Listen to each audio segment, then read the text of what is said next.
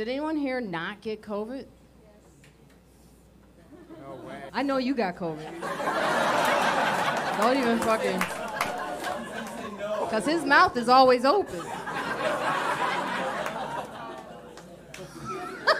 you were out there like, let me catch this shit. Okay. I just dealt with him, and now you guys are. It's like a podcast happening. Oh, okay. You didn't hear it because you were talking. I feel like a teacher right now. Can you not do that to me? It's like I turn my back. Who's talking? Best friends, huh? Yeah, no, it's not you. You're fine.